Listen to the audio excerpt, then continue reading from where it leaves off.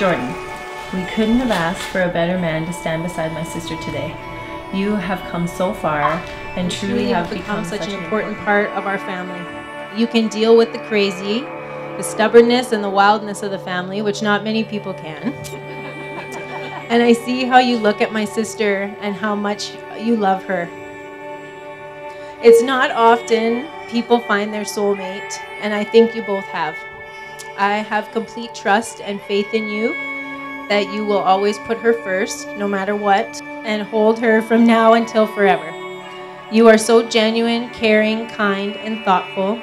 You are the calmness in every room, and always smile and light up every situation.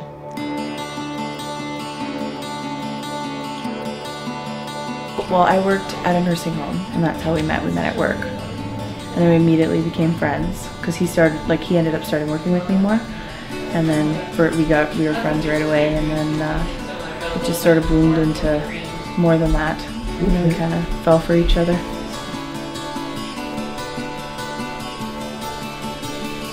Hope you're ready for this crazy ride we call life.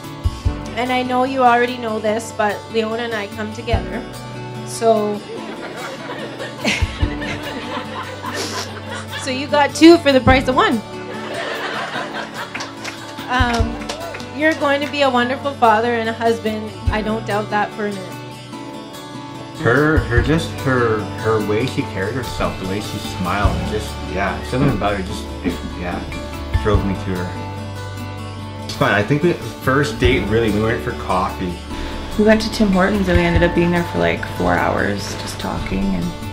And we sat there talking till like 2 a.m. just enjoying each other's company and I didn't want the night to end. I actually had my dog in the truck, and she chewed on his um, blinker thing. Her dog was in the car and in my truck and chewing my truck up, but yeah, it just uh, it was a great night. It just yeah. Sun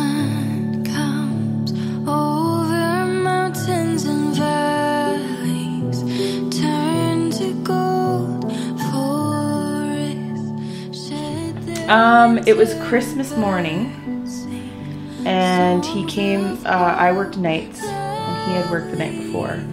So, because like, he knew I wasn't gonna be home, so he got everything set up for the morning. I actually waited till she got off a night shift and I set out a bunch of flowers, purple flowers. There's a big E at the reception for Ellesmere, and those purple flowers are the flowers that he proposed with. So uh, he had them all laid down on the floor to, and he had put them to the bedroom. And he was in the bedroom on one knee with the camcorder. And he's like, "Will you marry me?" I said, "Well, yes, I will." But it was nice because, and I said, "Well, you really did you have to do it on Christmas morning?" but he's like, "Yeah, I had to do it. It was a perfect gift." I was like, Holding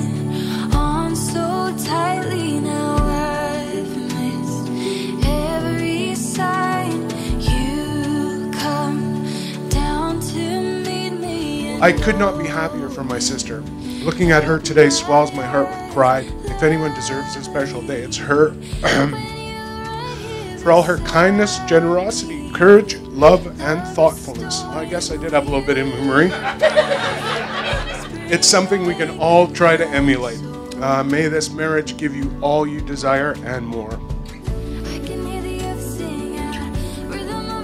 We're here to witness your promises of a faithful love to each other that will be uniting you in marriage today as husband and wife, and that you will be living out as you fulfill those vows in your many seasons in life that is ahead of you. Love itself is what's left over when being in love has burned away. And this is both an art and a fortunate accident.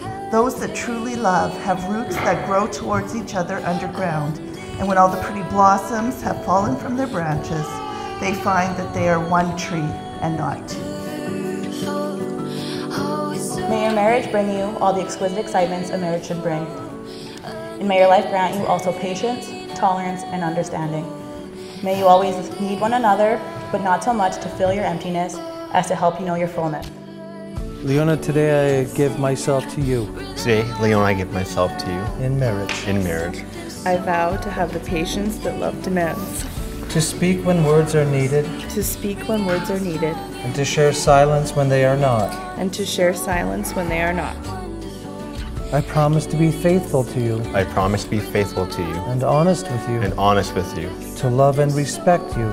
To love and respect you. In good times and in bad, In good times and in bad, for as long as we both shall live. for as long as we both shall live.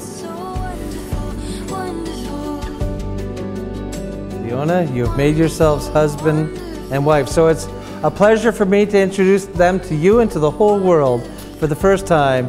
Jordan, Leona, as husband and wife. Big kiss.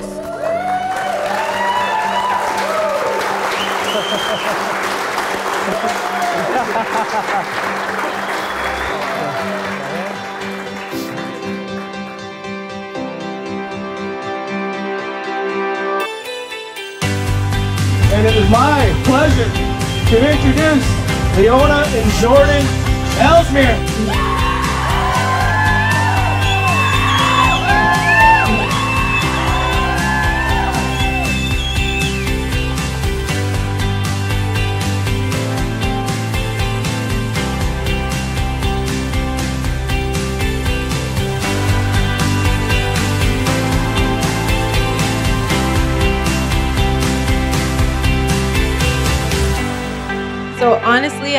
Even put into words how much I love you, Leona. We have been through everything together good, bad, and ugly. You have always been my rock, and I don't know what the hell I'd do without you. I have so many memories with you, it's hard to find my favorite. You make everyone around you the priority and have a calmness about you.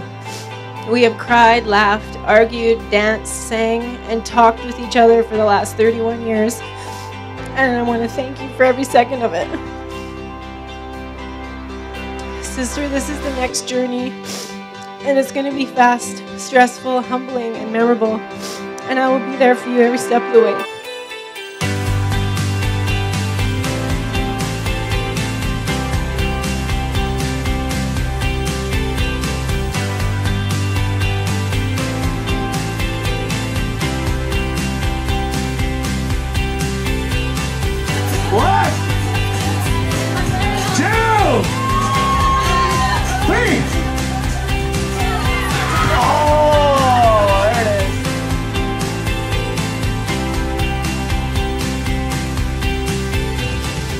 I truly wish the best for you both, and I hope that there are many more little ones and many years of happiness. I know that. hey, half, a dozen, lone, whatever, doesn't matter. Whatever you feel comfortable with. Eight, nine. I truly wish the best for both of you, and I hope that there are many more little ones and many years of happiness. I know that the true test of a relationship is not best of times, but the worst of times. And when you can love someone through those times, that's what really matters. I stand here today so happy for you and Jordan. Mom would have had her big smile on and said, Babe, you look gorgeous. Now buck up and take this life by the horns and don't let anybody steer you wrong. You are so much like her and will never be gone as long as you're here. I'm so glad you followed your heart, Leona, and I know a man like Jordan will carry it. So please, everybody, raise your glasses to Mr. and Mrs. Ellesmere. We love you.